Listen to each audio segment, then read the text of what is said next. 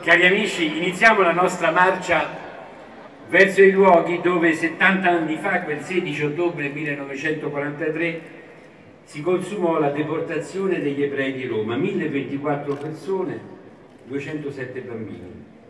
La fiaccolata parte, ricordando i nomi degli ebrei romani uccisi dalla macchina da sterminio Enrica della nazista. Rocca di 6, Lello della Riccia di 2, Costanza di Porto di 61, Benedetto di Segni di 3, Umberto Efrati di 32, Esther Sed di 10, Gioia Sed di 68, Italia Zarfati di 3, Leo Zarfati di 7. Secondo lei quello che è successo può riaccadere? Se perdiamo la memoria di quello che è successo 70 anni fa qui a Roma, sì, purtroppo può riaccadere.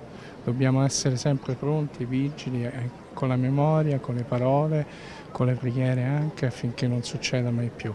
Purtroppo i testimoni diciamo, dell'epoca diretti ormai sono rimasti in pochi, allora questa trasmissione della memoria è molto importante affinché si tramandi anche alle nuove generazioni e che non si ripeta mai più quello che è successo durante la seconda guerra mondiale. Arrivati nell'ex ghetto, i nomi diventano volti, visi di uomini, donne, bambini, persone come noi che ci potremmo trovare vicino al lavoro o essere i nostri compagni di scuola.